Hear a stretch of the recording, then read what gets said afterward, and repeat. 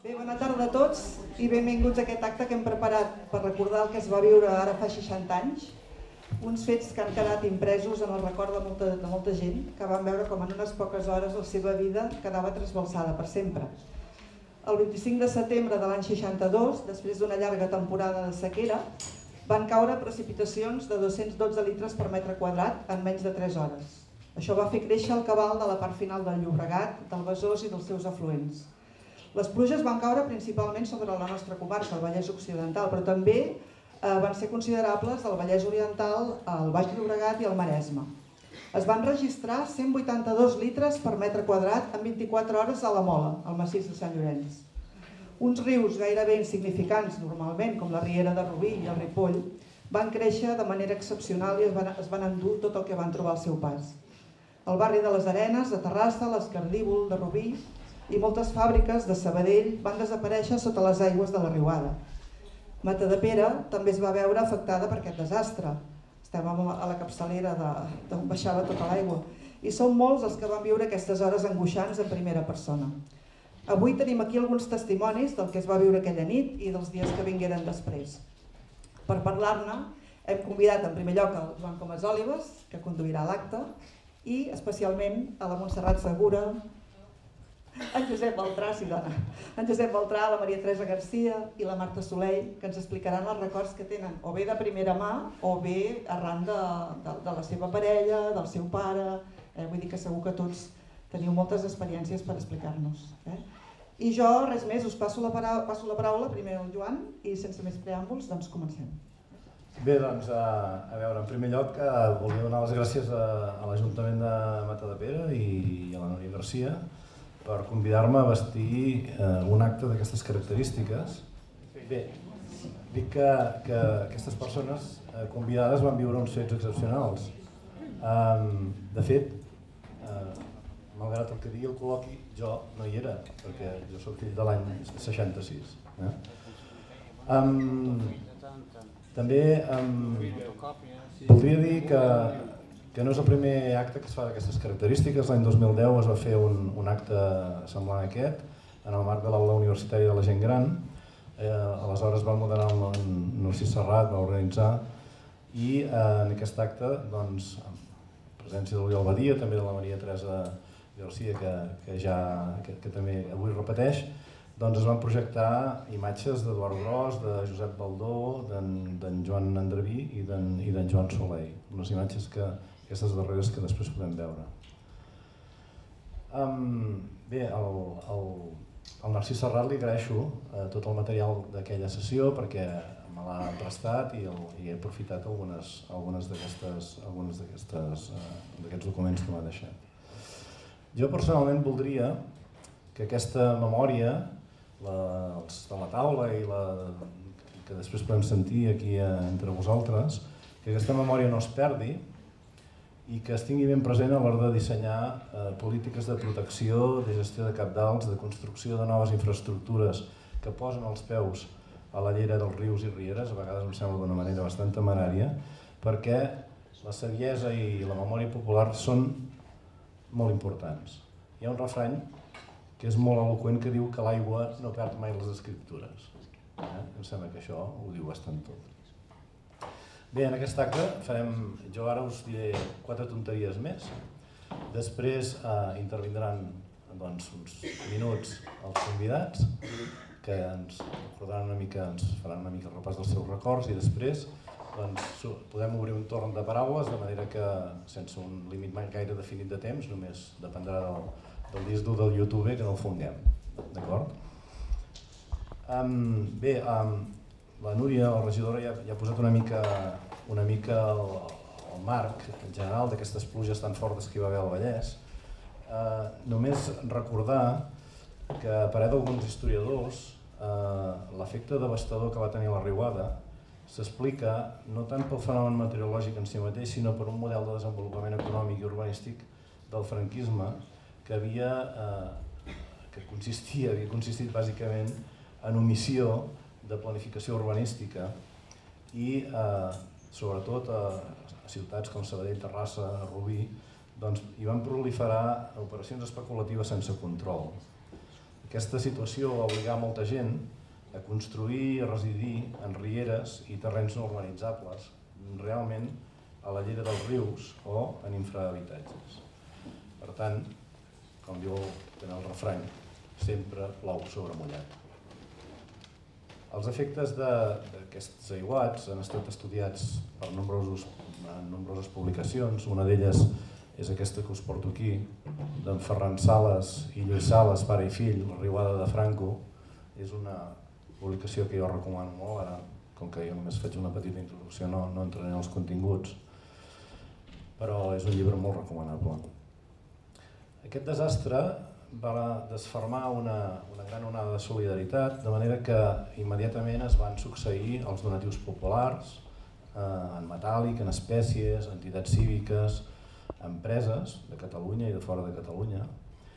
I eh, a nivell de, en aquest nivell de, de solidaritat destaca, va destacar una campanya que tots deveu recordar, que algun deveu recordar, comanada per en Joaquín Soler Serrano i Manuel Tarín Iglesias a Ràdio Barcelona, que va recaptar una quantitat enorme de, de donatius i que a més a més doncs, anava donant informació sobre les persones identificades, va, va fer una, una feina ingent. Um, no obstant, aquesta campanya va tenir, tenia molt èxit, eh, contrastava molt amb les actuacions del, de, del, del règim, que no, no, durant hores i hores va estar sense fer absolutament res, perquè el governador civil era a Madrid, perquè no, ningú es posava el telèfon, perquè ningú era conscient del que havia passat, etc etc. I davant d'aquest gran èxit de Ràdio Barcelona, eh, realment el règim va intentar tancar aquest programa. L'única cosa, l'únic mitjà que estava fent alguna cosa, doncs va estar a punt de ser tancat fins que al final hi va haver un acord i el règim va dir bé, tot això intentarem donar-li la volta i convertir-ho en, un, en una campanya de, de propaganda capgirant aquesta situació. De manera que al cap de, de poc doncs, van desembarcar aquí jerarques del règim, eh?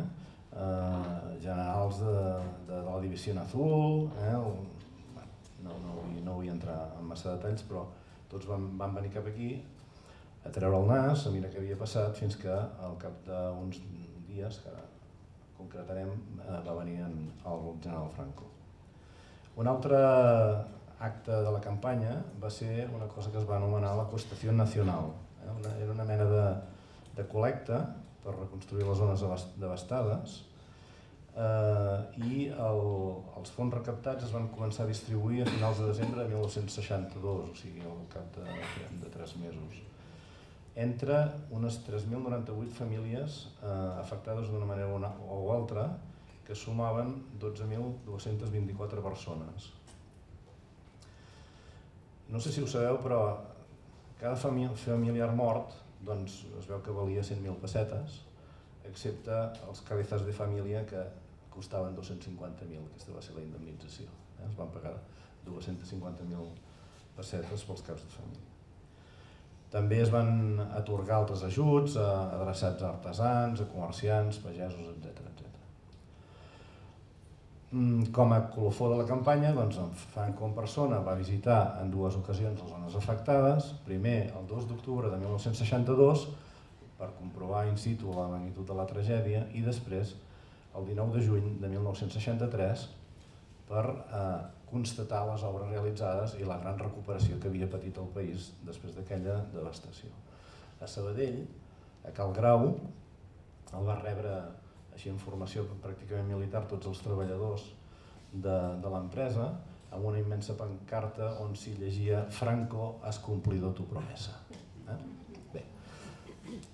Bé, i què va passar en aquest, en aquest llogarret eh, de més amunt de Terrassa Sabadell? Doncs que seguint el curs de la Riera, de les Arenes, doncs trobaríem que en primer lloc que els aiguats es van endur al pont de Can Robert, un pont que, Sí, perdoneu, si us voleu girar tranquil·lament, eh, vosaltres i cadira, no hi ha cap mena de problema perquè eh, diguem que la sala s'ha guarnit d'aquesta manera. Eh? El pont de Can Robert, que és un pont que, que com sabeu, no, no es va arribar a reconstruir mai, eh? encara, encara en queden algunes restes. L'aiguat es van portar allò que s'anomenava els xalets, eh? a la, pujant cap a les pedritxes a la dreta, prop de la riba de la Riera, pel que sabem poc després que els seus ocupants els haguessin desallotjat. Caldria recordar que en aquells moments el pont de Camprat no existia i els de la plaça de Sant Jordi i la Guàrdia Civil tampoc. Eh? La Riera es travessava mitjançant guals i molt recordem que aquí a la plaça de Sant Jordi eh, era un espai de diversos nivells i no un espai pla com, com, com ho és avui. Eh, es van portar a l'aiguat una casa del marge dret de la Riera que si, perdoneu, si algú després, a veure, jo entenc que això és el turó de Camprat i per tant això ha de ser doncs, més amunt de, més amunt del, de, de, de l'actual escola de música, diguem-ne. Eh? Però mm, no sabria dir exactament on és. De fet, l'arxiu municipal, d'on hem tret aquestes fotografies, aprofito per donar eh, les gràcies a l'arxiu municipal per la sessió d'aquestes imatges, però no està documentat exactament la documentada exactament l'adreça. Eh? Doncs es van portar, es van portar aquesta casa de, del marge dret de la Riera i ja veieu que va quedar, bueno, no hi va quedar pràcticament res. Eh?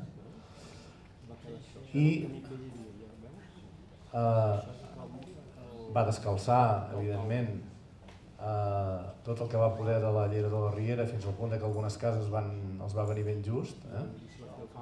Com no llepen, però la tragèdia es va produir sobretot eh, en aquesta zona, aquesta, aquesta casa que veieu aquí és la casa de la família Torrella, i eh, en aquest espai de, de més amunt hi havia unes vivendes, hi havia un taller de cotxes, que era el taller d'en Llibert Badal. Eh? Aquí l'aiguat va fer víctimes mortals. Es van portar quatre membres de la família de So, en Josep Gassó Vives, el pare, d'uns 50 anys, la seva muller, Adriana Milà i Rovira, de la mateixa edat, si fa no fa, Salvador Gassó i Milà, d'11 o 12 anys, i la filla, Maria Teresa Gassó i Milà, de 18 o 19. La noia no va ser mai localitzada. Bé, pel que expliquen a casa, i després podem comentar, en Gassó era constructor i es refiava de, que de la fermesa dels fonaments de, de la casa que havia construït per la seva pròpia família, eh, allà on ara ha el restaurant, on hi havia hagut la bolera, diguem-ne, i de la casa només em va quedar això que, això que veieu aquí.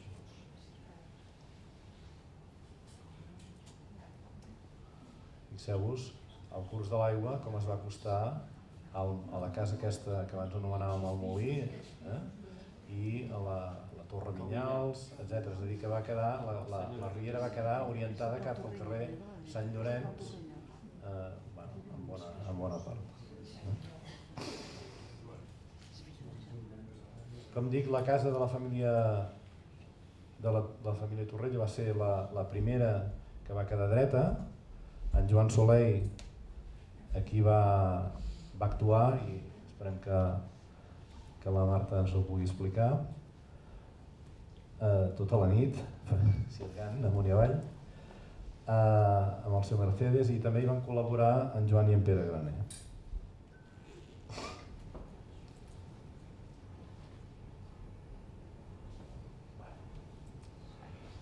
Uh, la, la, l'aiguat va, això és el capdamunt del carrer Sant Llorenç, per tant aquí a, al davant, aquí en aquesta zona hi tindríem la, la casa Torrella i aquí uh, al fons començaria el gual de la, de la Riera l'aigua va travessar finques tapiades eh, rebentant els murs i arrossegant tot el que trobava al seu pas. Aquí, aquesta foto d'aquí baix potser es veu, es veu millor. Això és el celler, és el restaurant El Celler, i aquí tenim doncs, el carrer eh, el passeig Àngel Guimarà, per tant això és Antoni Gaudí, cantonada eh, passeig Àngel Guimarà.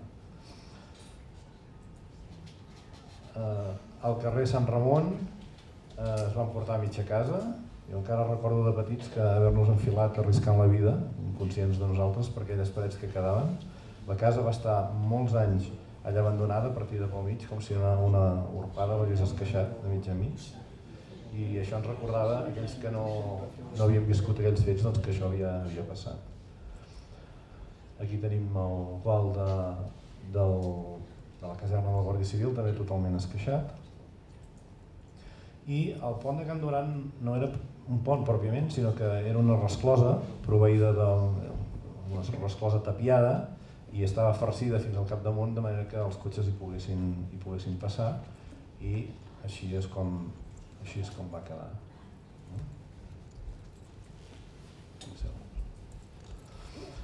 Bé, la força de l'aigua es va emportar un pi enorme fins a la cantonada de Cal Baltrà, jo crec que aquí hi ha algú que ens ho podrà explicar una miqueta tot això. Va quedar entrevessat, va fer de dic de contenció eh, i hem de pensar que per, uns, per unes hores l'aigua de la Riera de les Arenes, o per uns moments, no sé, van a parar al torrent de Beuradors. Eh? Per tant, la Riera de les Arenes, que és tributària del riu Llobregat, durant un temps ho va ser del riu, eh, Ripoll, del riu Ripoll i per tant del Besòs. Eh? El, el subministrament d'aigua va quedar tallat, bona part del poble va haver de recórrer al, al pou de les germanes Guadall, a Caltatxer, a Rodera Caltatxer, i eh, mobles de tot caire, pots, olles, estris, van omplir les vinyes de, del capdavall del poble. El testimoni de la mare, que el tinc aquí, dels meus oncles, sobre Cal Corcova, recorden doncs, la casa inundada al llarg dels seus 60 metres de llargada i lloques i porcs surant per allà, els passadissos i les corts. El balanç total de, oficial de víctimes a Mata de Pere, doncs oficialment sis persones i una altra de desapareguda. Eh, I aquí, a més a més de la família Gassó, tinc constància d'un tal mestre que havia a Can Gorina, eh, del qual no en conec el nom, i potser algú ens ho podrà dir, i tot i així, malgrat aquests cinc, aquestes cinc persones encara en faltarien dues més. Hem de dir que per protecció de dades la, documentació oficial se serveix amb les dades anonimitzades i per tant si no surten de la memòria de les persones no es poden llegir en els papers oficials encara. Bé, sabem que aquella nit els masovers de Sant Llorenç del Munt, Joan Ros i Maria Casals, la van passar damunt de la taula del menjador amb la convicció que en acabar aquella bestiesa d'aiguat Mató de Pere hauria quedat arrasat. No va faltar gaire, víctimes mortals, destrosses arreu, oficialment destrosses per valor de 3.000 i escaig de, de, de pessetes i tres famílies sin vivienda. Eh? Um, perdó, un moment.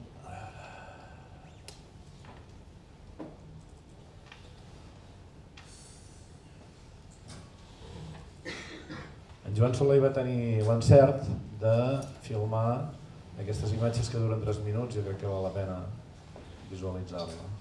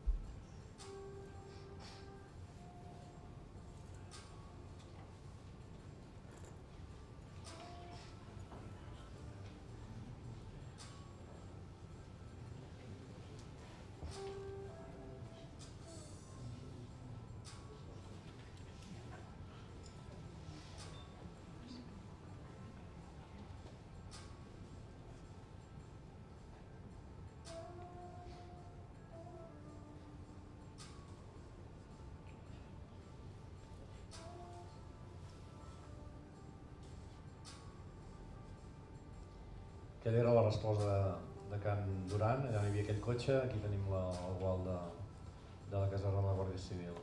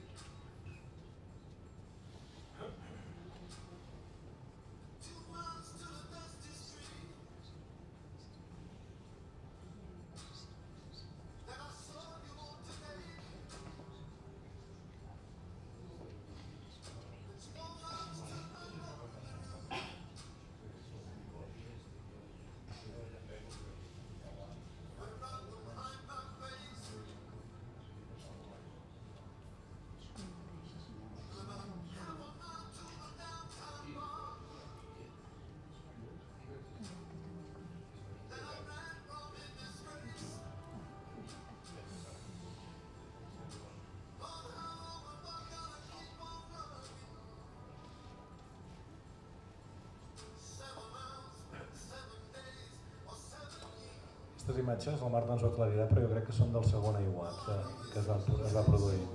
Perquè el primer era de nit i pràcticament no es podia filmar. No. no. Uns dies després, el primer aiguat i va el segon, però ja s'havia obert camí. Per això, per això. Els que no heu vist mai la Riera plena, doncs és, eh, realment és impressionant.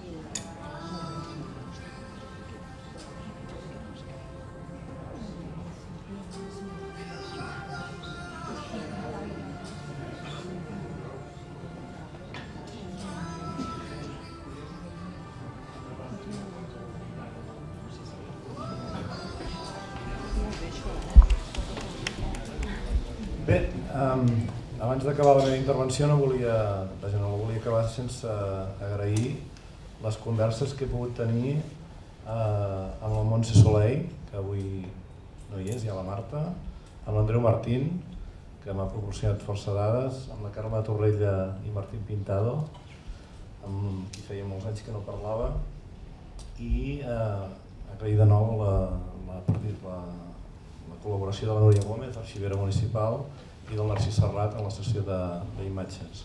Les fotografies de l'arxiu municipal i la imatge de Joan Soleil doncs, me l'ha cedit digitalitzada en Narcís Serrat. Bé, doncs començaríem una, amb una pregunta als membres de la taula, que és tan senzilla com eh, què recordeu dels aiguats del 62, a Mata de Pere, com ho veu viure. Eh? Us donarem 7, 8, 9 minuts perquè puguem fer la roda i després anirem repartint el joc.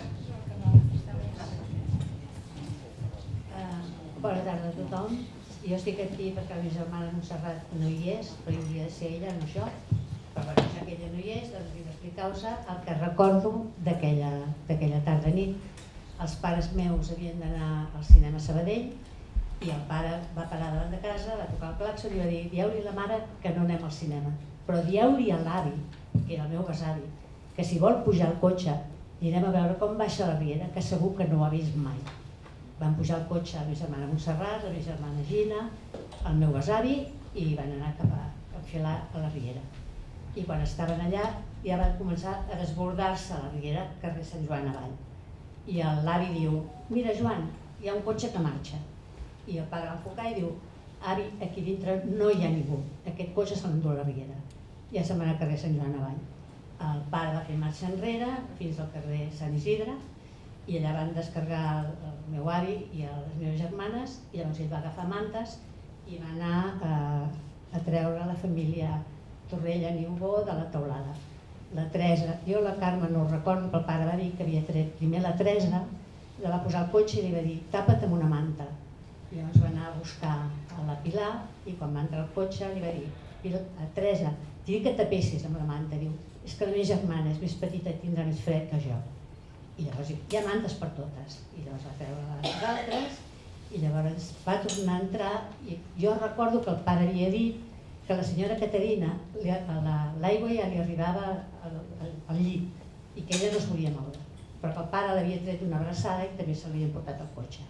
Llavors, com que la cosa ja s'anava complicant molt, va anar a demanar ajuda, que això ho pot explicar la senyora Núria Oladell, van a demanar ajuda al Pere i al Joan perquè ells tenien un camió perquè el cotxe del pare doncs ja semblava que ni, ni, ni el cotxe del pare ja podia, podia enfrontar aquell aiguat que baixava pel carrer Sant Joan. I això és el que jo recordo. I està, va estar entrant i sortint, canviant-se de roba i tornant a marxar i la veritat és que no recordem ni quina hora va dir Si no recordo malament, la Montse m'havia explicat que també va tenir el Mercedes enfocat cap a les escoles de Can Duran amb els llums encesos perquè tothom que pogués baixar per la, la part de dalt de la muntanyeta tingués clar que s'havia enfonsat la, la, la claveguera i que ningú doncs, pogués caure. Sí. Per això deia que, que hauria d'estar aquí la meva germana. No, no, cap problema. No, cap problema. No, no, no, no, molt bé. Vale, això és el que jo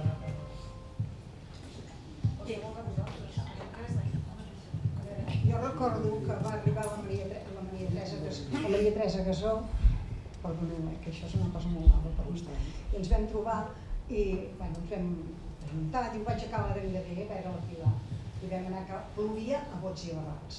I vam anar a Cala d'Engader i encara l'Angeleta ens va dir escolta'm que tens la mare sola, eh, i l'Adriana li feia molta por quan plovia i diu, entre, entre, no us entretingueu perquè bueno, ens agradava enraonar. I jo havia d'anar a l'hotel perquè anava a sopar a l'hotel que la meva mare cuidava aquells nens de, de la Carme Codina, de Llimarques, i anava a dinar i a sopar a l'hotel per no estar a casa, que jo vivia al costat de Cal Ferrer, de Cal Masplet. Bé, i després de Cal Arangader va dir, m'acompanyen que arribo fins a Cal Vivet, que va de comprar. I vam anar a Cal Vivet i vam, bueno, vam enraonar una mica i me'n vaig, me'n vaig que la meva mare està patint i ja no la vaig veure més. Però després a l'arribar a l'hotel la segona part és que hi havia el Manolo, que li, el germà de l'Andreu, que sempre estava allà a l'hotel, érem sempre tot una colla, i tothom li deia, el Soleil, i, i molts homes d'aquí al poble, escolta'm tu que la teva nòvia, que escolta'm plovent tant, que tal, que qual, jo li vaig dir, jo li deixava ja fa un rato, i ja va estar. I ell estava decidit perquè tots tenien la mentalitat de Calves, el fill, que hi ha uns fonaments tan ferma, i el mateix Manolo, no, no, no passarà res, però al final el Soleil o Joan, que és marit, no me'n recordo. Anem-hi, se'l van endur. Se'l van endur. I llavors ja amb la senyora de Rigosa diu, nena, anem fins aquí al passeig, a veure, que baixa l'aigua al carrer Sant Joan, un pi cal Baltrà. A Cal Trepet va entrar també una branca de pi i un que va arribar fins a, a, a, l'alçada de l'església amb arrels i tot, però no us ho podeu imaginar l'aigua com baixava. I com que encara aquell carrer del, del forn encara era or, encara era un marge, no, no estava obert encara aquell carrer. Baixava l'aigua i, i feia rodol cap al, entre la que baixava al carrer Sant Joan i la que baixava del passeig, a les Virgínies, si algú de Matapera se'n recorda de les Virgínies, aquelles dues iaies, els va quedar, bueno, que les cadires, aquelles cadires de boca del, de la llar de foc estaven per, per, per sobre. Estem parlant de davant del passeig del rellotge? Sí, la casa de la rellotge. Al costat, al costat de Can Camí. O sigui, les cases aquelles, com que entre l'aigua que baixava i la que venia del passeig, es van omplir. A Cala d'Encader, que no sé si hi ha l'Antònia per aquí, que ho pot dir propietat, va entrar l'aigua pel garatge i del garatge a la botiga però fins dalt, però jo vivia al davant, al, al, al costat del Mas Ple, de, del, del, del Ferrer. L'aigua feia això, no? Baixava a Sant Joan i feia, feia curves i depèn els pins i la brossa perquè baixava de tot i força. I la Maria Teresa em va quedar aquell record tan gros que llavors van dir oita, ja cap a la matinada, perquè jo no vaig anar a dormir, eh? vam amb gent, vam anar voltant amunt, amunt, amunt, oita desaparegut el gasol, vivia el Duc, i vivia l'Enric i la Cloti, tots els que eren, a Marimón, això mateix, i buscàvem, i aquests on deuen haver anat, on deuen haver anat. I a Cal Gasó, la Maria Teresa, des, de, des del cantó de, de, del carrer, demanava auxili, auxili. A davant vivia els de Cal Arquer. Jo me n'en recordo que ho vam comentar i ho vam viure. I ara en aquest moment a vegades diem a les amigues tu no penses, Maria Teresa, que tots sopaven el Salvador, la Diana i el Josep, els tres de la família, i ella, la Maria Teresa, estava davant demanant auxili. I primer, la primera bancada es va dur aquests tres, perquè aquests tres els han trobat i la Maria Teresa no l'han trobat mai. Mai. I els familiars van obrir el cementiri, els nits i tot, i ara ja, ja l'han tret. Jo vaig estar tota la nit amb la gent voltant, busquem-els. No, no, els dic que se'ls han dut. Deuen ser pel senyor Vergara, perquè ella treballava a contribucions, la Maria Teresa, amb el senyor Vergara. Deuen ser pel senyor Vergara. I mira, som a Cal, a Cal Bancs. Vam anomenar Quico Sala, també, que, que vivia allà al costat, que entrava pel carrer Josep Valls. Llavors, bueno, ningú tenia la, la cosa de, de que, que se'ls havia l'aire. Ens, ens semblava que, que ens havien sortit, o jo què sé, aquella nit. Jo explico això perquè no vaig dormir en tota la nit amunt i avall al Soleil, molta gent, molta gent. El Manol al final van lograr de dir, escolta Manol, i llavors clar, ens vam anar barrejant, però aquest carrer va baixar, el carrer Sant Joan va baixar, molt, molt. I va baixar de tot. El Josep Beltrà potser també ho sap, no? I, i s'embrossa i de tot, menys i l'últim, jo llavors jo a les 6 del matí l'escrivia. El Sebastià Rifà, que tots el coneixen, amb la Pere, estava fent la mili. Bueno, Teresa, acosta del micro, sisplau. I escrivia la carta dient... No, no ens expliquis a nosaltres, explica'm a tothom, sisplau. No, no, no, explica'm a tothom. Tothom, va. Però tinc aquí la Maria Teresa I, I em sap greu que no hi ha Antònia Genescà perquè eren íntimes i ho va passar de malament la Maria Antònia Genescà, si hi és. Eh? Eh, eh, que és veritat això que dic. Jo, eh, eren íntimes, era una mica més gran que jo i, i, i, i tots li vam dir, oi nen, amb aquest temporal vés, te diuen, no, també deia, no, perquè aquella casa, i al final també va lograr el Soler i tots d'agafar-li, nen, nen, tu, que això no pinta bé, eh? Però no ens pensàvem que, que era tan gros, però que aquell baixava molt la riada, però molt. Però bueno, com aquest senyor que dius també jo el coneixia. Aquest senyor que has dit, Mestre. jo el coneixia, perquè he fet arreglar la seva senyora, de les manicures. Nom de pila? No me'n recordo.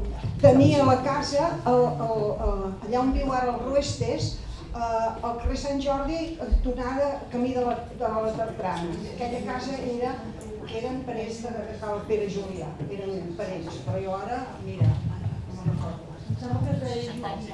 com? Perdó. Qui?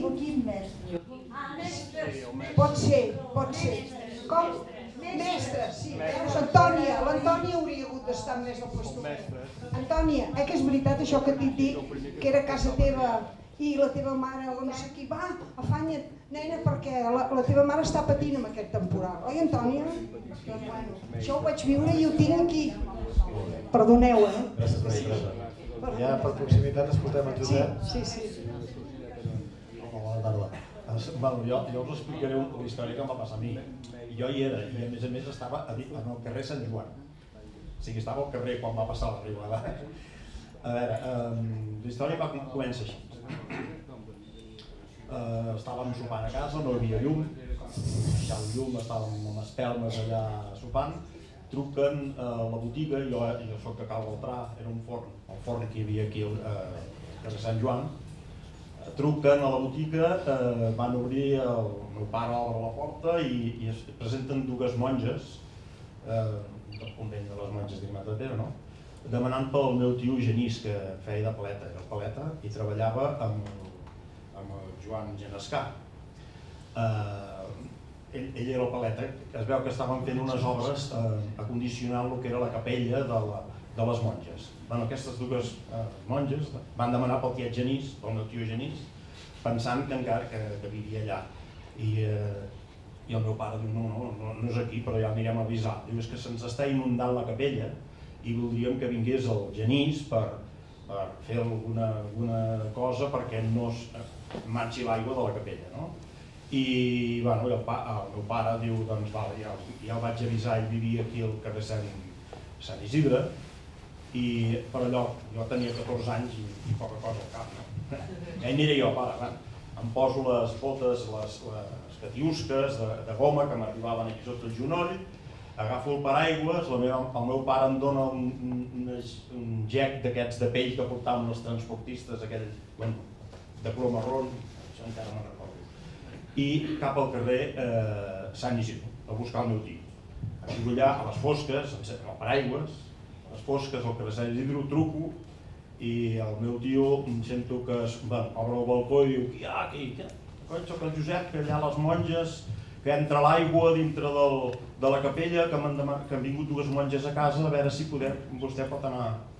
Diu, escolta, jo ja estic dormint, vés-te'n a casa el Joan, que d'allò, que hi vagi ell bueno, ja em tens cap a mi cap, altra vegada cap al carrer Sant Joan, eh, Iglesia Vall, ell vivia eh, per sota de l'estanc, no? no sé quin número és aquell, però bueno, ja truco allà, a casa Joan, i mentre estava dret a la, a la, a, a, a la porta, arran de porta, que allà hi ha un petit graó, i, i estava dret, pues, noto, noto que m'entra aigua dintre les catiusques. I, i esclar, eren les catiusques que, que m'arribaven aquí al genoll, i se'n van omplir d'aigua. Vaig que raro, com? Vaig començar a picar fort perquè vaig passar, bueno, no, eh, jo, jo no era conscient del que estava passant, eh, perquè no veia res, vull dir, estava completament a les fosques i no veia res. Amb aquestes ve el Joan i obre, oh, fots aquí. Va entrar una riuada d'aigua, me'n recordo que la Maria no sentés eh, al menjador. eh, la vaig veure il·luminada amb una espelma, però va entrar com, com, una, com una paret d'aigua, no gaire alta, eh, de, de, 40 centímetres per dintre la porta, per dintre el passillo. Vam tancar la porta, eh, vam començar a posar tovalloles i coses allà perquè no entrés aigua i vam estar uns, uns minuts allà eh, mirant a veure què passava. Vam anar a l'habitació de davant, vam, eh, llavors ell amb, amb un llum enfocava el carrer, el carrer Sant Joan, i veiem a baixar algun cotxe, vam veure baixar dos o tres cotxes avall, per allà al carrer Sant Joan. Vam estar un rato i bueno, va desaparèixer aquella riuada d'aigua. En principi va desaparèixer.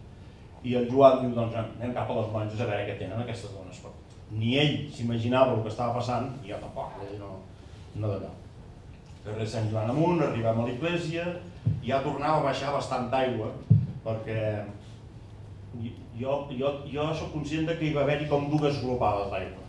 La primera va ser aquesta que, que, jo, que jo estava allà a la porta, Eh, de, de Casa Joan i llavors va baixar el nivell de l'aigua. No sé si degut a algunes circumstàncies desviava l'aigua cap a l'Àngel Guimarà, que baixava pel carrer Sant Joan, o, o, alguna altra cosa. Bueno, vam arribar allà a la carretera de Terrassa, cantonada eh, pel Parramont, no? cap a la carretera, i, i allà vaig, vaig veure l'autobús de Terrassa, que devia ser el de les 9 del vespre, que estava amb els llums encesos i a dintre hi havia gent esperant, bueno, esperant a veure què passava. Hi havia l'autobús allà, però nosaltres no vam fer cap, vam pujar cap, a, cap al cine Recreo, en el cine de Mata de Pere, eh, la plaça de, de, de Cal Valdiró i el carrer, mm, el carrer que no sé on dir, no me'n recordo, el carrer de, de la farmàcia, no? fins a arribar allà a, a la cantonada eh, que, que dona altra vegada al carrer Sant Joan eh, davant de les monges. Allà vam estar un rato perquè sentíem molt soroll i baixava molta aigua. Nosaltres estàvem bastant retirats del carrer Sant Joan, eh? una miqueta de baixada i ens arribava bastant aigua eh, als peus, diguéssim. I el, el carrer Sant Joan, amb el, amb el lot que, que tenia el, el Joan, el Genescà, doncs veiem l'aigua que baixava pel carrer Sant Joan. I res, vam estar un rato, se sentia soroll, a part de l'aigua, del soroll de, de l'aigua, se sentia soroll com si baixessin rocs o alguna cosa d'aquestes. Eh? Va baixar una mica el nivell i el Joan diu, va, travessem ara, que sembla que podrem travessar. Jo em vaig entrar, quan estava al mig del carrer Sant Joan, m'entrebanco, em foto de cap a dintre l'aigua i ell em m'agafa amb una, amb una abraçat i em fot a dintre el, pan, el pati de les monges, em va tirar a dintre el pati de, la, de les monges, aquest, que hi ha entre la guarderia i l'edifici l'edifici vell de les monges, allà dintre.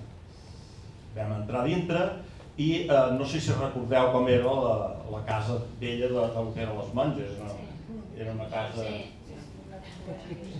Doncs vam entrar dintre i allà hi havia com, un, com una pintura, no recordo com si fos una pintura, eh, eh, en el fons de, de, de, de l'entrada hi havia una escala, no era de cargol, però feia, feia un parell de curves que portava cap a les habitacions que tenien les monges a dalt, una escala. Doncs, perdó. No estic acostumat a parlar en públic. Uh, doncs imagineu-vos uh, tota l'escala plena de monges amb un, amb un ciri cada una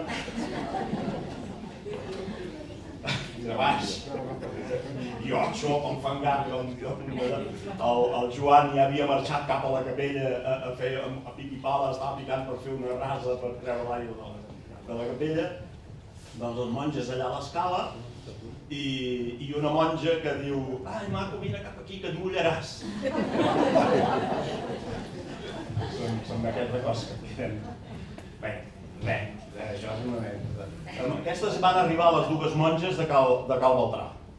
Jo, jo encara estava allà quan van arribar les dues monges que, que estaven a casa, a casa meva, que, que segons em van explicar els meus pares i els meus avis, el meu pare i l'avi, van ajudar a aguantar la porta perquè baixava tant quantitat d'aigua que els era, que, bueno, ja, ja els va inundar tot el que era l'obrador de, del forn i si no va arribar a la boca del... perquè estava com ensotalat l'obrador i el forn teníem que baixar unes escales per anar, per fer-ho. Doncs allò va quedar com una piscina. No va, no va entrar dintre el forn perquè no devia tindre un metro i alguna d'alçada, la boca del forn, i no va arribar a entrar allà. Però és igual, la qüestió és que arriben les monges aquestes dues eh, senyores i, i em diuen corre, vés cap a casa que, que hi ha la teva mare que t'està cridant. I jo, la veritat és que ja la sentia, perquè les monges a casa meva cal voltar eh, eh, pocs metres. I jo, doncs, tot decidit, surto del carrer i carrer Sant Joan avall per, per anar cap a casa i, i, i vaig xocar amb algú, vaig picar de cap amb alguna cosa que llavors va, més tard vaig veure que era un arbre enorme que, que estava eh, entrevessat allà amb la soca dintre de Cal Parell, que era una fusteria que hi havia o sigui, totes les arrels i tot, tot el que estava empotrat que era un portal de carro, era un portal gran, doncs havia entrat allà dintre del, del, de la casa de Cal Parell i el que són les branques i tot el, bueno, la copa del, del pi, tot això, això ho vaig veure l'endemà, eh? no, aquell dia no vaig veure res, només vaig veure estrelletes, llavors vaig fotre una trompada que que la meva mare em va haver de curar i tot eh, per, per allò. Doncs l'endemà vaig veure que era un vi, ja l'havien tallat llavors, eh? ja, havia, ja havien fet un pas, ja van, el van tallar. Bueno, el vaig veure l'endemà de, de dia. I a sobre de, de les branques hi havia un cotxe, un Citroën del tipus, un Citroën em sembla que en diu el Pato, un Citroën, estava eh, eh, allà, la, el que és la, les, les branques estaven apoyades a lo, que, a lo que era la carbonera que dèiem nosaltres de Cal Que ara és la bodega. Ara hi ha aquella bodega allà on estava, les branques allà. I el cotxe aquell allà a sobre. És l'únic que puc explicar. Ja està tot explicat, tota la pel·lícula que, que vaig viure jo, tant pel, pel carrer de Sant Joan el dia de la Molt bé. Escoltem, escoltem a Montserrat a veure què ens explica. Sí, no, el mateix. Una trompada també? No, la trompada no, bona nit tothom.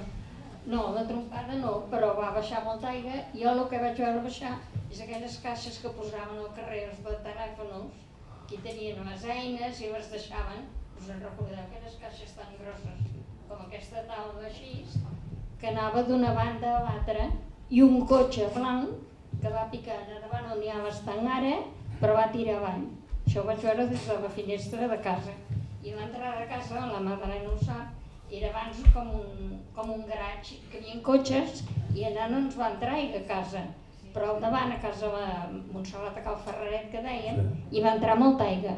I com va haver passat tot, ens en vam anar a ajudar tots a treure aigua, no sé si eres tu també, d'allà al costat, perquè la Dolores plorava perquè hi havia molta aigua. És, és l'anècdota que d'això. I llavors sé que el Delfino, a segona riada, ell sí que va córrer i va fer, i va fer un monòlit, que no sé si, si l'heu trobat o no, perquè ho van treure, de les reixes de, de les cases que... Alguns el recordem, aquest monòlit, sí. Sí. Sí, sí. I és el que es puc explicar, vull dir, que el carrer baixava molta aigua, pits i baixava tot des de dalt la finestra, com la Madalena també, perquè jo llavors vivia al carrer Sant Joan. Era, era casa meva era al carrer Sant Joan. Estava casada però vivia allà. Cal Quistó? Cal Quistó, això mateix. No me n'amago, eh? No, no, Sempre no ho dic que sóc de Cal Quistó. Eh? Que sí. Un motiu. Cada casa teníem el nostre motiu. I és clar, allà al carrer llavors es van enterar de que havia passat això al Besó, tothom va marxar amunt. I vam quedar només les senyores allà anar traient aigua. No recordo. No puc explicar res més perquè ho ha explicat prou bé el Josep. eh?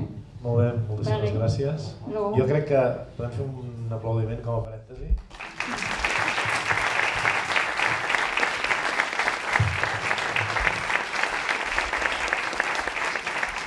Sí, um, ara seria qüestió de que si algú vol uh, compartir amb nosaltres, uh, algú del públic, el seu record, igual que s'ha fet eh, o han fet els convidats a la taula, o si els hi volen fer alguna pregunta, doncs que aixequin la mà i els acostarem un, un micròfon.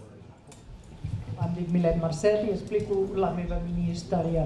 Quan va haver-hi la riada jo tenia 4 anys, però me n'en recordo com si hagués sigut ahir, perquè em va impressionar bastant. Estàvem en una casa d'estiueig, aquí al carrer Josep Vallès, on hi ha el carrer Àngel Guimarà, pues, quan gires a la dreta, si era muntanya, era una casa, amb les portes de vidre. I me n'en recordo que plovia tant, plovia però molt, i, i semblava que era de dia perquè hi havia mo molta llum. I de repent, sí, molta llum, clar, jo veia tot il·luminat i me'n recordo que meu pare mira a la, a la porta de, de la casa, que era de vidre, i fa així, diu que és fosc, i mira i diu, Roser, que era la meva mare, diu, és aigua que ha pujat fins aquí dalt. I de repent es van trencar els vidres i va entrar tota l'aigua i em vaig quedar tapada de l'aigua i recordo que em van estirar amunt. Llavors érem quatre germans i aquella època hi havia una noia a casa i ens va venir com un atac d'histèria, és que ho recordo, i la, i la meva mare va dir, bueno, aquí ningú es pot esmentar. I ens va donar un bolet als dos germans petits i a la noia i va dir tothom eh, eh, que estigui serè. I tots vam callar. Ningú va plorar més, que això és, correcte. I llavors amb els meus pares sentia que deia com farem per marxar de la casa? I miraven i esclar, totes les eh, finestres donaven al jardí menys una més petita a la cuina, que van dir sortirem per aquí. I llavors el meu germà gran, que teni- tenia 13 anys, es va estar fora, que era el més alt, diguem, i el meu pare va pujar a la teulada. I ens van anar passant per la finestra, i la meva mare era l'última, i quan em van passar a mi els hi vaig relliscar. I me n'en recordo que vaig caure, hi havia com una aigua marró, i no em trobaven.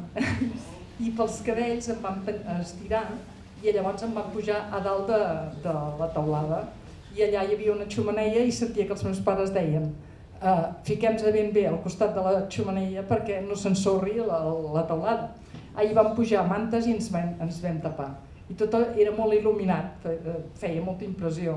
I llavors sé que al cap d'una estona, no sé quanta, eh, va parar de ploure i llavors, no sé com, que van començar a cridar els meus pares i els veïns de davant perquè de la cera aquella a nosaltres representa que ens vam in- inundar, però els veïns del davant no els hi va passar res. Ens van venir a recollir, ens van deixar pijames i vam dormir en aquella casa.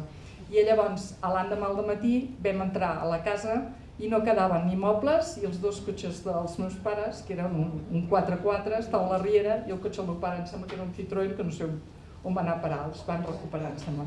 I ja està, és, sembla una xorrada, però tota la vida me n'he recordat. Home, jo crec que una xorrada no és tenir al davant una autèntica supervivent dels aiguats del 62. Sí. Moltíssimes gràcies pel testimoni. Moltes gràcies. Em poso aquí al davant perquè em vegeu a l'hora de tot. La meva història és una història de 10 o 12 hores que va començar a Terrassa, va continuar a Sabadell i va acabar de matinada a Bata de Pere. La qüestió és de que a casa tenia una fàbrica de capses, el que el doctor Cabanes, que donava al carrer del Vall, i aquella tarda els treballadors allà a les 8 de la tarda, amb aquell aiguat que queia, no gosaven sortir per anar cap a casa seva. I amb aquestes el meu pare em va dir eh, mira, agafa el cotxe i agafa aquests quants aquests quants que són de la zona del torrent de la Maurina i acosta'ls cap a casa seva. Sí, agafo el cotxe, en aquella època jo just tenia el carnet de conduir, 58 anys, i vaig cap a la carretera eh, de Martorell i a l'arribar a la cruïlla de la carretera d'Olesa, la de Martorell, l'aigua ja havia baixat molt de, de, de, també de l'Olesa, i es veu que havia soscavat el terreny just on hi havia el porot. I amb aquesta cosa m'acosto i de cop volta el cotxe perd l'horitzonalitat i comença a baixar. I va quedar submergit a dins de, de, de, del sort que s'havia fet allà. Les persones que duia a dins del cotxe, eh, veient el fum que sortia, que era el vapor d'aigua de tocar el motor, eh, van sortir esperitats com van poder. Jo aquella gent, aquests treballadors no els vaig veure fins al cap de 15 dies o una cosa així. No? Vaig sortir al cotxe, el vaig poder, eh, passo per davant de la Madalena, cap al, costat del fum, eh, hi ha l'aigua més amunt dels genolls, eh, vaig a travessar la Rambla amb molta dificultat perquè me recordo que eh, els peus em lliscaven sobre el fang que hi havia per terra i el corrent d'aigua. Travesso el pas a nivell, passo per davant de l'hostal del fum, enfilo el carrer Sant Marià, que ja feia pujada, i quan eh, estava mig carrer Sant Marià vaig sentir el terrabastall de l'aigua que baixava ja de la gran glopada amb cotxes, arbres i tot el que devia baixar. Eh, jo es dir perquè pensava, quan arribis a casa i miris el pare que es porta del cotxe, que l'altre ronca, que has parlat. El meu pare, que havia fet una maniobra semblant amb un altre cotxe, que s'havia anat cap a Camp Palet, eh, va tornar cap d'una estona, ja devien ser a les 10 o una cosa així, i ell també havia quedat sense cotxe. Eh, en el cas seu se li havia mullat el talco o una cosa semblant, i, i eh, què, què fem? En, en allà eh, encara hi havia, a la fàbrica hi havia el, el xòfer d'un dels camions i amb tot això patint perquè eh, la meva mare amb els meus germans petits estaven a la casa que teníem al Car Sant Llorenç i de les cases que donaven a la Riera i a més a més amb un, amb un, germà meu petit eh, que, que era molt menut i estava patint eh, la mare què passarà? Bueno, doncs van suggerir agafar el cotxe un euro el, el camió aquell i anar eh, amb el camió que dir, el camió que és dièsel, aquest no, no es mullarà el telco i podem arribar. Però vam tirar cap a la carretera de, de Castellà, vam passar el pas a nivell que hi havia llavors de, de la Renfe, eh, i abans d'arribar al que era el camp municipal de hockey, davant de les cases aquelles del grup Agara, aproximadament, eh, en allà ja no vam poder passar més perquè hi havia algun arbre a terra, eh, a més a més ja ens van dir que el pont de la carretera de Castellà eh, es havia ensorrat eh, i amb dificultats vam aconseguir girar el camió allà al mig, no recordo que anava davant del camió amb un bastó, amb un pal, mirant que no hi hagués un altre sot, ja estava escarmentat, vam aconseguir girar cua i vam dir, anem per Sabadell. Vam anar per Sabadell amb el camió i encara me'n recordo ara que després de Sabadell pel carrer Calderón arribem a la plaça del Mercat i allà hi havia com un embús de cotxes també, i, i, i, i uns camions de bombers eh, i una, una gent desesperada que demanava als bombers que anessin a casa seva perquè els havia entrat aigua a, a casa seva. Llavors, clar, ben vist el, el, drama que hi havia a Terrassa, a mi em va ser absolutament ridícul eh, el nervis i, i la histèria d'aquella gent que estaven allà demanant els bombers que anessin a casa seva, eh, passés el que passés però vam aconseguir travessar Sabadell, vam pujar per Can Uriac i vam arribar aquí a Mata de Pere eh, just quan començava a clarejar. I quan meva banda de la torre els vaig veure, a mà dreta, eh, en allà no vam poder passar, perquè hi havia molta brossa, arbres allà pel mig, i a peu doncs, vam pujar de, des de l'entrada de Mata de Pere eh, fins al carrer Sant Llorenç, i vam estar en una casa dues abans de Cal, de Cal Espanyol, i quan vam arribar, que era ben clar, eh, vam veure ja el desastre per la part del de la casa, amb la casa dels Albinyana, que és aquella que va estar interruïda tants anys, de tota la família Albinyana. Eh, No va ser la, la primera riuada. El Vinyana va ser la segona la segona, doncs, bueno, hi havia algun altre de, de, de la Riera que baixava eh, cap a l'esquerra que va picar davant de Cal Gasó, eh, de, de, de la força s'anava, va picar i s'anava a la dreta i, i es va, i va eh, fer malbé totes les cases que hi havia a la dreta després del pou. Eh, en canvi, els que estàvem al costat de, de Cal Espanyol, baixant a l'esquerra, en allà vam quedar preservats i vam tenir una, una vista eh, fantasmagòria del que, que havia passat. Història no acaba aquí perquè... Hauríem de mirar d'allargar-nos, però repartim una mica el joc. Perquè després de mig esmorzar vam tornar a Terrassa amb el camió, tornant per Sabell i a Terrassa la història va continuar. Parlem de Mata de Pere, essencialment. Algú més? Uh, de baix. Carme Torrella. Hola. A veure, jo més que res per al·lusions ja, perquè eh, ha sortit casa meva, eh, heu parlat de les meves germanes, jo no me'n sí, jo no me'n recordo perquè jo era molt, molt, molt petita.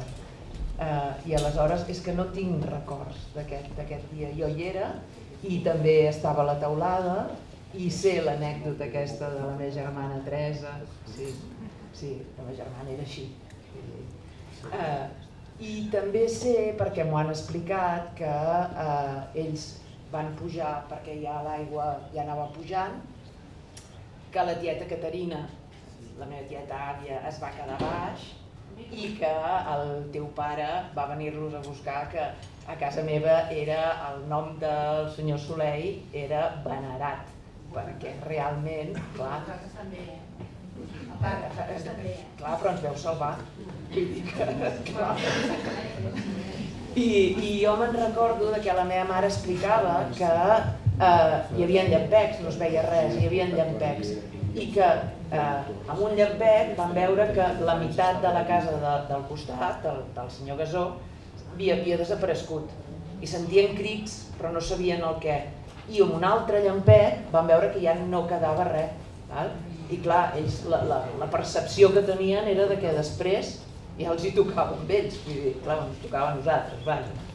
Vull dir que, i, I veient les imatges, el que sí que he entès és que la meva mare després busqués un lloc ben alt per fer-se la casa.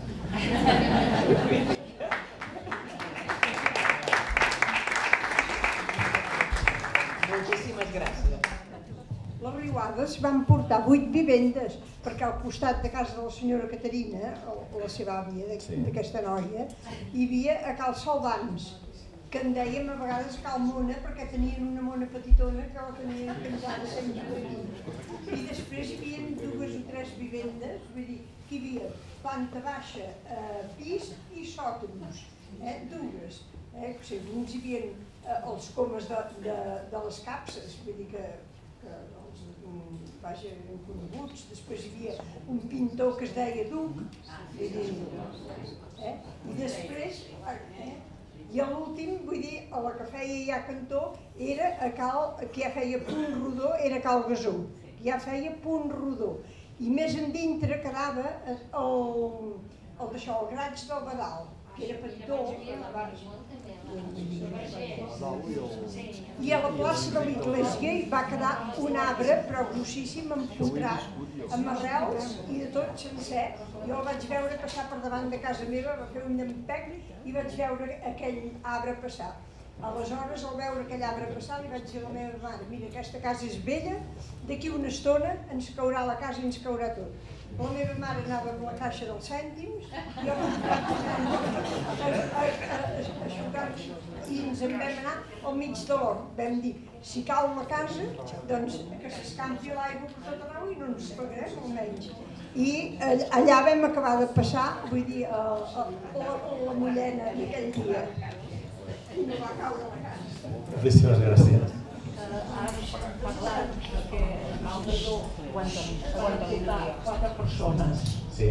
i un mestre, no, No, un, jo, jo, jo he parlat de que pel, pel que jo conec eren aquests quatre membres de la família Gassó doncs i el, no, el mestre aquell temps era el senyor Vinyana, que vivia a aquell carrer. I llavors, llavors van venir a viure aquí a Mata de Pere, al costat de Cal Duc, un comissari de policia, la seva dona, d'una noieta que tenien que els va arribar aquella tarda per ajudar-los. I aquest comissari va pujar a dalt de Cal Gasó i jo ho sé pels Duc, que també hi van pujar, i van dir què fem, Josep? I el Gasó va dir, quedeu-vos aquí a casa, que això no s'ho emportarà. I el comissari, la seva dona i la minyoneta que tenia es van quedar a Cal Gasó. I el Duc se'n va anar, que jo crec que va arribar fins a casa teva, allà a Cal Bosc. Sí, sí, sí. I el, o sigui, i el, el comissari, la seva dona i la noia, el Manolo, els va identificar. O sigui, se'ls van endur amb els de Cal Gasó. L'única que no van identificar mai va ser a la Maria Teresa. Jo només ho volia aclarir això perquè jo sí que sé que hi havia Cal Gasó. Molt bé. Eh, Llavors, mm, una altra cosa, també estan dient que esteu dient, per exemple, que podia caminar per l'aigua. A veure, va haver-hi un moment en el què nosaltres vam anar a veure l'autobús perquè arribava el meu germà amb el meu pare, que feia pràcticament un metro noranta, i no ens vam veure en cor, no es va veure en cor de travessar ni caminant pel carrer Sant Joan. Va deixar el cotxe en el carrer Montserrat i ens vam posar a casa del seu germà, que Joan vivia a la casa del davant. I per darrere hi vam poder entrar. I a casa nostra no hi podíem passar. El meu pare, amb un metro noranta i 90 quilos, no es veia cor de travessar el carrer. Vol dir que va ploure molt més que, que el que diu el Beltrà, que, que ell encara podia caminar pel carrer, perquè nosaltres no vam poder passar. És l'únic que he dit és que va baixar el nivell de l'aigua, llavors nosaltres vam poder sortir. Nosaltres vam anar eh, a l'autobús, perquè el meu germà arribava amb l'autobús. La- jo vaig... Vam donar la volta pel carrer Montserrat, ja no ens vam veure el port de travessar cap al carrer Sant Joan, vam quedar a casa del meu tiet. Les meves germanes anaven a la casa del Balan i per la finestra els dèiem que no sortissin, que eren petites. I el meu pare no es veia en cor, no es veia capaç de travessar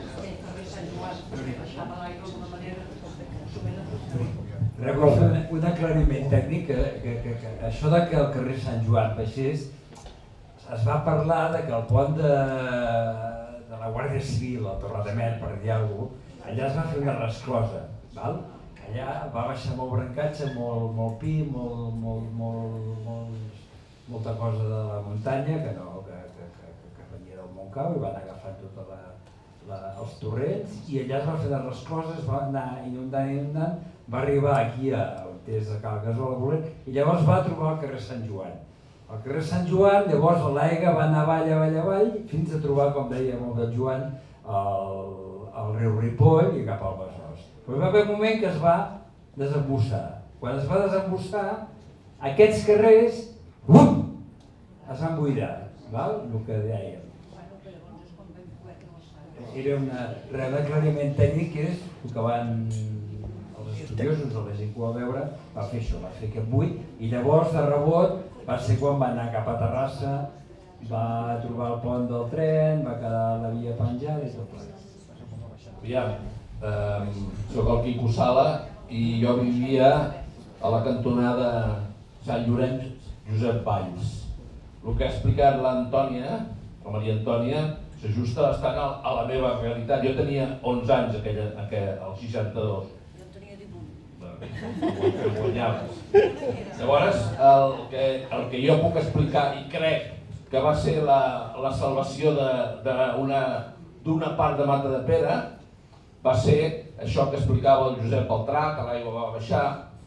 Jo recordo, nosaltres vivíem a la cantonada Josep Vall Sant Llorenç, érem els masovers de Cal Bancs, i aquest baixón d'aigua que va fer va ser quan va trencar el, el, la tanca de la finca i l'aigua es va dividir. Que el carrer Sant Llorenç, que baixava bueno, impressionant, perquè la veiem, es va dividir cap a l'Àngel Guimarà. Llavors va ser, va ser el baixón aquest que va fer, que crec, que, repeteixo, va ser la salvació d'una part de Mata de Pere, perquè recordo, perquè ho vaig viure i ho vaig veure, el que és la cantonada del carrer Gaudí, on és, on és ara el celler, la casa aquella ja l'havia descalçat. Vull dir que, perquè picava tota la que baixava fins que va fer el baixón aquest quan va trencar les aigües pel carrer del, del, entre les dues cases, el, el, el, els bancs i la nostra, i va baixar l'Àngel Guimarà baix.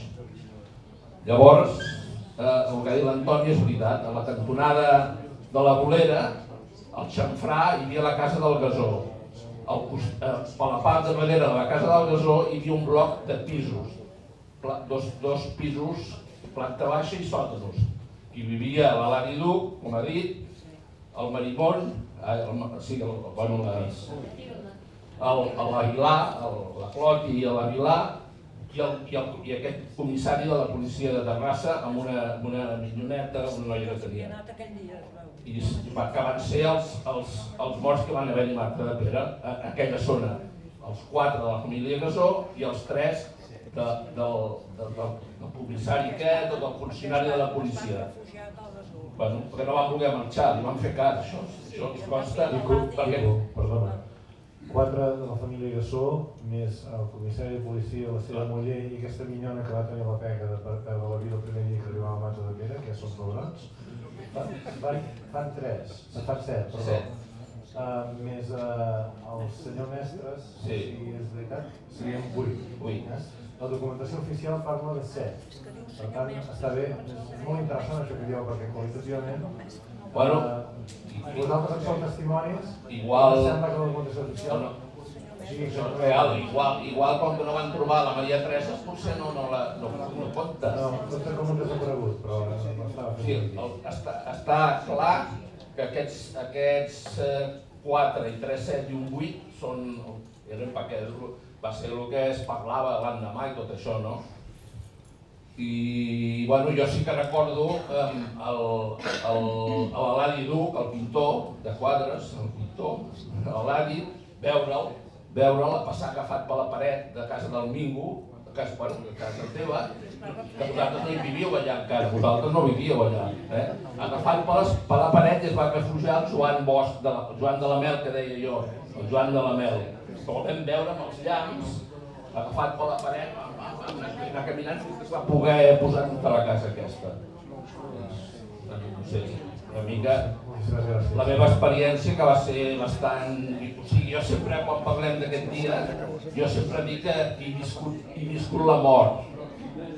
Val, com sona, perquè no podies fer res. Nosaltres estàvem allà, érem, érem quatre germans, i el meu pare i la meva mare, i i el senyor, el que ens va, els que, el que ens va posar amb alerta del tema que era greu, crec recordar que era un tal Homet que vivia l'Àngel Guimarà, aquí on viuen els solans, a la casa d'aquestes, que ell puja, va pujar Àngel Guimarà i va girar pel Josep Valls i quan va arribar davant de casa nostra, que la porta d'entrada de la casa estava al carrer Josep Valls, per això podíem sortir, perquè baixava tanta velocitat l'aigua que no girava cap al carrer Josep Valls. I podies treure el cap i amb els llamps doncs, veies la, la, la quantitat d'aigua, pins, pedres i tot el que passava. I aquest senyor anava a buscar la seva filla que estava a la plana eh, a buscar-la i ja no va poder passar. Va tocar la bocina i va sortir la mare i va entrar i mare de Déu, senyor, el que està caient, el que està passant. I aquell senyor també es va quedar allà. Tot, tots els quatre germans, el meu pare, meva mare i ella, ja passant el rosari i esperar. En sèrio, és cert, eh? això és cert, esperant pues, la mort. Moltes gràcies. Jo he presentat perquè jo estava a Terrassa vaig poder agafar el cotxe de les 9, l'últim. Ja amb tot el jovent reien i, i teníem una mica així en ponys. Tanta aigua, tanta aigua. Bueno, cotxe cap amunt, i arribant al Burot, la Guàrdia Civil, ara l'ha pogat, i ens diu, avall. Llavors hem d'entrar una mica així. Una mica com pasta groc hem passat pont de les arenes. Puigmunt, carrer Sant Joan amunt, cada dues o tres cases parava, perquè baixava algú de, els que anava amb el cotxe, cap al carrer Sant Joan, ai, Sant Llorenç, i cap a l'església. I quan va arribar a l'església, jo ja no vaig veure, però em dic, ja no havia pogut passar. Els, els cotxes i troncs, tot això. En arribar a casa, en arribar a casa el pare em diu, som tots, ja podem sopar. Em diu, és a mirar aviam com va la ria. Vaig sortir a la riera, el carrer Sant tenia una riera. Dic, pare, això no és una riera, això és un mar. Perquè no es veia terra. Oh, que ara a l'escola, tot és... Bueno, vam posar a sopar i cap a dormir. Aquest carrer de casa, ningú s'ha entrat a res. Ni l'Artur Espanyol, ni a Cal, ni a Cal Montserrat, ni nosaltres, ni Cal Secretari, perquè estàvem habituats a la riera. Però d'aigua pel carrer no, em va, no ens en va notar. Bueno, i quan de bon de matí, perquè havíem d'anar a collir el rei, passa el, sogre del meu germà, que dormia, vivia al cap de Sant Isidre. El pare des de la finestra, Ramonet, avui no anirem a collir raïms, eh? Diu que raïms estem per collir. Diu, s'han dut a cal gasó. I tot el carrer, Sant, Sant Llorenç, anem gràcies. Jo no vaig baixar a Terrassa, llavors, per treballar, però ja em van dir, cap amunt. L'única experiència que vaig que vaig veure molta aigua i vam passar una mica així en Trípoli quan anàvem a l'autocar. No. Joan, deixa'm preguntar-te, les vinyes eh, de Can Carbonell on teniu la vinya, Sí. veu perdre tota la collita? No, no, no, no. Va fer una mica de mal a la terra. Va haver xeragalls i això, però la collita la van triguar. Es va, es va jugar cap de dos dies i es va poder ser ric. Bé, està, està molt clar que aquest poble eh, és carener, justament, el que passa és que hi ha dos cursos d'aigua a banda i banda del poble. A les parts més careneres, que hi ha la part de, del, del carrer Sant Llorenç, carrer Sant Isidre, etc. la gent va poder dormir sense ni tan sols assabentar-se assabentar-se de que havia passat una debacle d'aquestes característiques, mentre que els dos cursos eh, normals i el, naturalment el torrent de, de Can Solà del Racó van baixar d'una manera espantosa i a la Riera de les Arenes amb la particularitat de que l'aigua es va desviar, sigui per embussos, sigui per, eh, per, perquè ja no podia engolir més, es va desvi- desviar cap dins del poble i eh, bé, mm, sort n'hi va haver encara que l'aigua es, va fer, es va fer lloc, com, diu, com deia el Quico, eh, allà a Calbancs doncs, eh, l'aigua entrava per davant i per darrere de casa seva, però tota aquesta aigua se'n va anar cap a l'altre torrent, va, hi va haver un transversament natural, diguem-ne. Sí, sí. No, nosaltres quan ens va fer girar l'autocar, el Manimón, ja el Guàrdia Civil ens va dir que s'havien dut un cotxe a la resposta de, de Cal Torredamet, que és aquest home. Sí? Això que dieu del, del, del senyor mestre, Sí. mestre, jo personalment vaig veure el seu cotxe que estava travessat a la riera dels Arenes, travessat amb la porta oberta sense ningú dintre. Jo venia del Pla de Bonaire, venia de Terrassa, i ja baixava moltíssima aigua. I al anar a travessar la riera, que baixava molta aigua, com dic, i a veure al mig del cotxe, un cotxe que no sabia de qui era, amb la porta oberta, parat allà al mig. No em vaig atrevir a passar. Anava amb un, amb un set. No em vaig atrevir. Perquè al principi dubtava, passes o no passes? No, sí, sí, no. Però vaig veure que si el cotxe aquest ha travessat, de mica en mica, l'aigua s'anava emportant, fins que va arribar a l'extrem de la carretera, ja hi havia una, una caiguda com un salt, i va saltar el cotxe avall. Vaig tenir prou feina, em girar com vaig poder, anar per Terrassa i pujar pel carrer, pel carrer Sant Joan. També pels pèls, perquè després de passar pel carrer Sant Joan, per anar cap a casa, va venir la riada aquesta que estàveu dient ara, que van portar tot el carrer Sant Joan cap avall, cotxes així. O sigui, podia ser potser un dels últims cotxes que va pujar sa i estalvi per anar eh, al final a casa al carrer Ignasi Iglesias. La meva mare el cel sí, eh? I meva mare, aquell dia, a la tarda, he aviat a Barcelona. He aviat a Barcelona. I va tornar en tren, tornava en tren. I nosaltres, a casa, quan jo ja havia arribat, per dir-ho així, ara ho puc dir-ho, ja pels pèls a casa, tot fosc, la mare no havia arribat encara. S'havia encat a Barcelona. I a cap d'una estona, molt tard, potser doncs alguna o les dues de matinada, preocupats, evidentment, perquè no sabíem, no sabíem l'abast de, la, de la inundació que tenia allà, però a quart dues havia arribat a peu, des de Terrassa, amb mossèn Joan. Anava amb mossèn Joan. A pujar amb mossèn Joan, la meva mare, enfangada fins a dalt de tot, i bé, vam acabar de passar la nit aquella, molt mal la nit, i el dia següent, evidentment, vam veure tot el que havia passat aquí. Però dic això perquè, en certa manera, em vaig salvar pels pèls el no atrevir-me a passar per la riera, veient el cotxe aquell, com se l'emportava l'aigua avall, de les mestres, el cotxe seu, el vaig veure, i després de pujar pel carrer Sant Joan, que devia ser un dels últims cotxes que devia passar amunt, perquè després va venir aquesta riala que aquesta. Vull dir, em vaig salvar per dues vegades pels pèls. Molt bé, moltíssimes gràcies. Bé, bona tarda. Jo el 62 no, no hi era, recordo molt bé, la, bueno, molt bé no, perquè tenia 8 anys, la regada del 71, però en qualsevol cas vull expressar una inquietud que tinc en quant al terme. Eh, el 62 van caure 200 litres per metre quadrat i el terme municipal que tenim, per l'orografia que tenim, tenim aproximadament unes 70 hectàrees de pedra. Eh? El Montcau, tots els castells de pedra, de fet el, el, la pròpia mola, no? que des de dalt a Sant Llorenç fins a Can Robert és, un, és, una, és com una marmolera, hi ha molta vegetació però en realitat és aigua. No? El canvi climàtic o l'escalfament de la Terra ens està comportant a canvis molt, molt bèsties, que els estem apreciant. No? Inclús les espècies d'aquí com el pirroig, les pinasses estan desapareixent, estan entrant altres espècies, això vol dir que està, que està canviant. La meva inquietud que sempre he tingut, i més d'una nit, més de, de, després d'una nit que vam sortir amb bombers a la resclosa d'allà de la deixalleria fa 4 o 5 anys, que vam veure, vam observar un comportament de l'aigua que no havíem vist mai. Aquí aproximadament havien caigut, segons l'estació meteorològica d'aquí al casal, 35 litres, i aquella nit, de la barat en amunt, havien caigut cap a 150.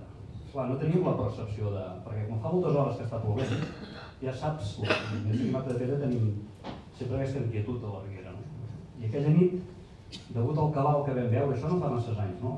Això em va fer pensar moltíssim. Llavors he analitzat una mica el terme, el nostre terme fa com una ferradura, no? que és tot el que és la Serra de l'Ubac, el Montcau i Sant Llorenç. Això és una capçalera molt bèstia i amb aquests canvis que tenim de, de, de clima, de temps, aquell dia van caure 212 litres. Però hi ha, hi ha hagut ja eh, punts de la Mediterrània propers a aquesta distància del mar que estem nosaltres, que és aproximadament 90 quilòmetres, sobretot a Alacant, a València, a Castelló, que degut a l'escalfament de l'aigua i bàsicament també doncs, aquests fronts freds que ens venen del nord, només que hi tenen 200, 212 litros en 3 hores, en caiguessin 450, no vull ser catastrofista, eh? però és, és una inquietud que tinc. I degut a l'estretxament que tenim, o sigui, els, els dos estrets que tenim, que són els dos ponts, vale? eh, bueno, em, em preocupa. No? Allà podríem tenir jo sempre m'imagino, amb el pitjor dels casos, doncs, eh, aquests pins que baixen sencers a vegades amb, amb trossos de pelluc, les ginestes, les rieres que no estan sempre al nets que haurien d'estar. M'imagino una presa natural en, en el propi pont i allà doncs, que l'aigua, en vez de baixar cap a la riera, agafés el curs del poble. I, en el pitjor dels casos, hi podria haver inclús un canvi de, de conca, perquè en realitat totes les aigües del poble les clavegueres que desaiguen cap a la riera, si seguim el curs van a parar al Llobregat i totes les del, les del torrent aquest d'aquí de Can Duran van a parar al Besòs. O sigui, si tu vas a un riu a la riera de la dreta, aquest riu vas a parar al Llobregat i l'altre vas a parar al Besòs. No sé, estaria bé. Sé que l'Ajuntament i que han hagut iniciatives de posar una estació meteorològica a sobre la barata per copsar una mica aquests canvis que hi ha, però en qualsevol cas la combinació d'aquestes 50-70 hectàrees que tenim de, de pedra, vale? perquè no és el mateix que ploguin 400 litros a l'altura de l'home, que pel seu, el seu sistema que té de vegetal i de terres i de solors té molta capacitat d'absorbir l'aigua. Aquí no. Jo una vegada vaig fer una prova, un dia que plovia molt, vaig agafar un, dos litros de sabó, estan a dalt a Sant Llorenç, els vaig tirar als meus peus i em vaig posar a córrer amb aquell sabó. I conteu que dalt a Sant Llorenç a Can Poble van passar com a molt 5 minuts. O sigui, per què? Perquè no tenim un bosc molt, molt compacte. Tot és pedra, l'aigua baixa. I a més, hi hem de eh, sumar els cents de quilòmetres que tenim quadrats d'asfalt de totes les organitzacions, que tot desaigua també la riera. No vull fer por, però és una observació Sí, la memòria d'aquestes persones justament ens han de servir per, eh, per reflexionar, per recordar. La memòria no es pot perdre i és evident que els cursos d'aigua han de patir diguem-ne el mínim d'obstacles possibles. Realment, el gran problema de les nostres rieres no és només eh, la capacitat que tenen d'engolir aigua en forma de metres cúbics, sinó que per una riera hi baixa absolutament de tot. I també és veritat que de les ribes de la Torre de l'Àngel i d'aquestes ribes altes on hi ha els pins eh, diguem-ne en fila, diguem-ne, eh, se'n poden despenjar no un, sinó dos, tres o cinc simultàniament amb una, amb una torrentada, diguem-ne. Això és, això és evident. Jo crec que aquí tampoc podem entrar en un debat a fons perquè, perquè estaria bé que hi hagués algun especialista en la matèria, però és veritat que, que aquest tema existeix i que com menys entrebancs tingui l'aigua, doncs eh, millor que millor, naturalment.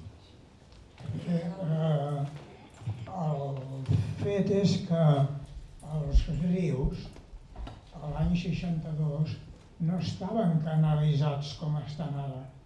O sigui, hi havia molta brossa, eh, llavors quan va ploure aquesta brossa, branques, eh, etc., va eh, anar a parar als ponts. Aquests ponts es van tapar i llavors van fer com d'embassament. Llavors em sembla que el senyor Josep ha parlat de que va haver-hi com una segona onada d'aigua més forta i sí, això és degut... Disculpi que m'interrompi, eh, però és que la Riera de les Arenes, llevat del pont de Can no tenia cap és obstacle ni permetés de, de, de, de, construir cap ni un eh, embussament. En tot cas, si va haver embussos, va ser efectivament perquè van baixar aturades senceres amb les seves soques, amb les seves capçades i això és l'única cosa que podia eh, redireccionar el curs de l'aigua però a la conca de la Ria de les Arenes no hi havia tals obstacles i aquí vam tenir el ball d'empentes que vam tenir. El riu Ripoll sí, el riu Ripoll sí, tant és així que el pont de Campagès que va de la carretera de Sabadell cap sí, sí, a Castellà del Vallès se'l van portar, se'l van portar a la riera. Llavors eh, es van veure afectades moltes fàbriques textils, perquè les fàbriques textils en molts casos aprofitaven l'aigua del riu. Llavors la fàbrica Tolrà, Castellà del Vallès, va quedar molt afectada. I eh, el pont que va cap a, cap a la Salut, des de Sabadell a la Salut, ja a mà esquerra encara hi ha les restes d'una fàbrica que no ha funcionat mai més, que està en runes. I, i també eh, el, que, el que va succeir és que l'endemà els trens que van de Sabadell i Terrassa cap a Barcelona dels catalans i la Renfe no funcionaven. No funcionaven degut a tota la, la porqueria que es va conduir. Molt bé, gràcies. Uh, ens allargaríem. Si ara ens parlar de, de, de, del Vallès, de Terrassa, Sabadell, ens allargaríem només uh, un parell de consideracions, o una, la primera és que hi havia algunes empreses que efectivament estaven a la llera del riu perquè eren empreses del ran de l'aigua i s'aprofitaven de l'aigua, però també hi havia blocs de pisos construïts a la llera del riu Ripoll i això és el que va causar les mortaldats. A Sabadell l'impacte va ser de 32 persones, però els Cardíbal de Rubí ja sabem que van passar de 200 i Terrassa de 300. I aquesta fàbrica que no es va reconstruir, jo no entenc per què, perquè el Franco els va donar, a través del gremi de fabricants, va posar mil milions de pessetes a fons perdut perquè les fàbriques tornessin a lluir, realment es va prioritzar la reconstrucció de les empreses per davant de la reconstrucció de les famílies. Sí, sentiu? Doncs eh, tal com has dit tu, eh, amb el recapte que es va fer de diners per les riuades, o, o, o Jo, Joaquín Soler Serrano, des de Barcelona, eh, va fer una recapta que va durar bastants dies, potser més d'una setmana va estar a Ràdio Barcelona fent la recapta aquesta. A Madrid això no els va agradar gaire, van voler parar, que ja ho has comentat, i no es va lograr parar-ho. Però eh, resulta que van enviar la germana de la Pilar Primo de Rivera, la van enviar eh, per, per, per l'assumpte aquest dels diners eh, per, per coi, que, que es havien recaptat molts diners i tot això. Va estar aquesta senyora quatre dies a Barcelona amb això del, del que tenia Joaquín Soler Serrano, dels diners aquests i tot això. Al cap de quatre dies aquesta senyora se'n va anar a Madrid, però amb un pessic a la butxaca de dos milions de pessetes. Dos milions de pessetes se'ls va fotre a la butxaca i adeu-siau. Això era per damnificats, no per aquesta senyora. Eh? Vull dir que és un tema que també que no se sap, però que realment fa pena que passin aquestes coses eh? i que es desviïn eh, diners dels fons que s'ha fet pels damnificats i suposin una família això a la butxaca i adeu-siau. Ho dic perquè també és bo saber-ho, que, que déu-n'hi-do el que passa amb aquestes coses eh, quan, a, en, quan, en, quan, en quan a Riades, com a, com a anècdota, doncs eh, en coneixo algunes, perquè hi he anat a bastantes riuades. Eh?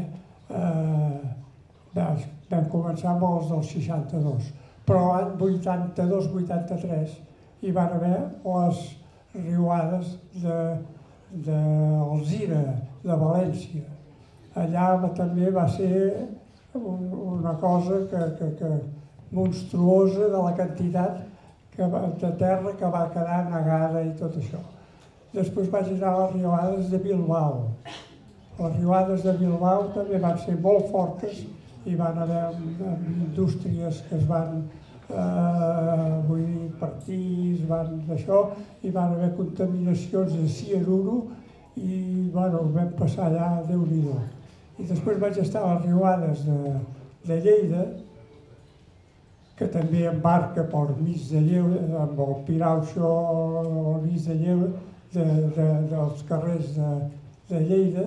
També vaig estar a les riuades d'Andorra i algun altre més. Vull dir que ho he anat seguint això, el tema aquest, i el coneixo una mica, i realment el que ha dit aquell senyor, que, que el foc té aturador i l'aigua no, és ben veritat que, que amb l'aigua no hi ha res a fer. Moltes gràcies. Quan et trobes amb una cosa d'aquestes, molt bé, vull dir que això. Res més. Jo només, només res, abans que, tanqui el Joan, eh, ell ha comentat aquest aspecte de, de, de, de, de tot el que envoltava doncs, el règim, el Franco, i tot aquest, eh, tota aquesta corrupció implícita que hi havia en el règim. Eh, recordar que l'altre dia vam estar parlant d'un altre, altre episodi de, també vinculat amb la Riuada, que va ser el robatori de nens, no sé si veu veure el Sense Ficció, diumenge vam fer una obra de teatre aquí, vull dir que tam, també, eh, també es van fer coses a aquest nivell, vull dir que molts nens van desaparèixer, no per tothom, Vol dir que quan hi ha una desgràcia d'aquestes doncs hi ha molta gent que se n'aprofita, això ja ho veiem, i moltes de les coses que es van portar, mantes, eh, estris per la casa, també van, van desaparèixer. Vull dir que de coses d'aquestes se n'expliquen unes quantes. El meu avi va morir a la Riuada de Terrassa, vull treballar a Cala Morós, a la, a la Rambla, i, i va morir. Jo encara no havia nascut, estava, la meva mare estava embarassada de mi, i vull dir, van tenir un tràngol també amb, eh, amb tot el que representa. Vull dir que tothom té vivències d'una banda o una altra de, de, del que va ser, encara que no hi fóssim, doncs vam rebre també l'herència de, de, del record de, del que va passar. No? Res, jo només volia, abans que tanqui el Joan, doncs agrair-vos a tots que hagueu vingut, perquè realment eh, hi ha moltíssima gent, està molt bé que, que estiguem tots aquí recordant aquests fets, que els hem enregistrat perquè, perquè en quedi constància, doncs, perquè d'aquí uns anys doncs, eh, totes aquestes veus quedin, quedin en, el, en el record i en l'arxiu de l'Ajuntament. Donar les gràcies a l'arxivera un cop més i als, i als que han proporcionat imatges, Narcís, eh, perquè hem pogut doncs, eh, documentar-ho amb, amb aquestes imatges que us hem passat. I moltes gràcies, Joan, per haver acceptat també, de, com sempre que et demano el favor, que sempre diu que sí, doncs també moltes gràcies. Eh? Molt bé, gràcies, gràcies. a vosaltres.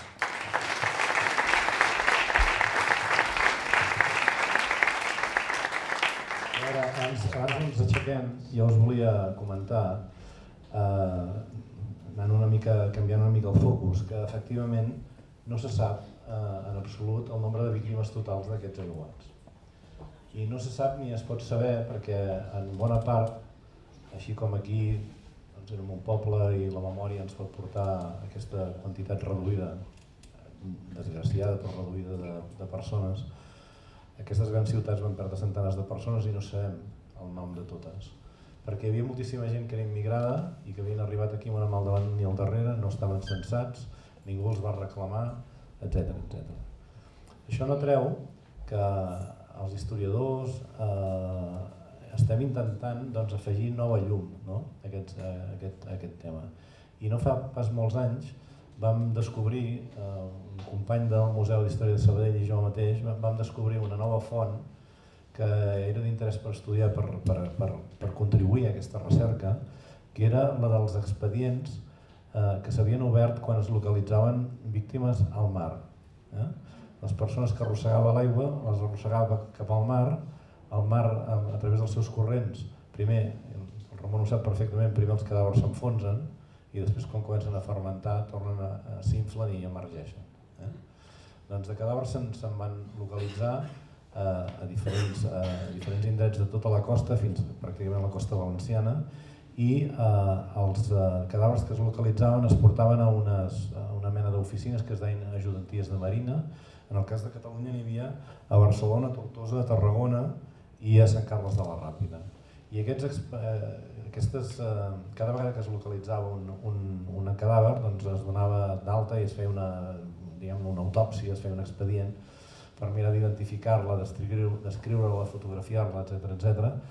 Eh, en aquestes ajudanties. Tots aquests expedients avui en dia estan en un, en un arxiu a Cartagena i amb, repeteixo, un company del museu i una historiadora vam anar a, a, a estudiar tots aquests eh, expedients i per veure si podíem identificar noves víctimes no identificades. Al final eh, són 92 expedients, era una font totalment inèdita. D'aquests eh, 92 es, es, hi havia 32 persones identificades, de les quals algunes d'elles ja s'havien identificat per altres bandes i eh, nosaltres vam poder aportar alguna, algunes dades noves. Eh? potser poc, però van ser, va ser una, una recerca molt profunda i molt interessant. Aquesta recerca la vam publicar a la revista Raon, està penjada a internet. Si busqueu cadàvers trobats al mar i us interessa el tema, és un tema molt escabrós, però realment és un tema interessant. I eh, també vam tenir l'oportunitat d'entrevistar un patró de vaixell que tenia 18 anys i ara patró de vaixell eh, de, del, del port de Tarragona, del Serrallo, eh, que ens explicava en què consistia aquesta recollida de cadàvers. El règim franquista mai va flatar ni un sol vaixell per recollir, per intentar localitzar eh, cap cadàver, perquè cada cadàver li queia al damunt com una llosa, i per tant ho va deixar tot a mercè dels pescadors. Eh? I eh, durant uns dies els, les, la costa era un espectacle dantesc d'animals, mobles i desgraciadament algunes persones que soraven per allà. Els mariners recollien, evidentment, tenien la seva ètica, si trobaven un cadàver el recollien, el portaven a les ajudanties de Marina perquè fossin identificats i s'obrís el expedient corresponent i per acabar d'adobar eh, les, autoritats, les autoritats els feien llançar la pesca per qüestions higiènico-sanitàries.